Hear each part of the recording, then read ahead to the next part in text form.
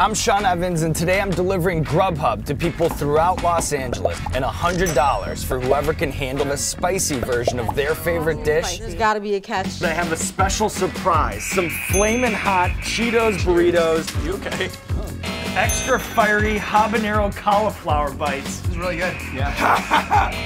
Blazing hot ring burner pizza. For the love of all that is Alex, though, keeping a straight face. Ah. $100 is as good as his.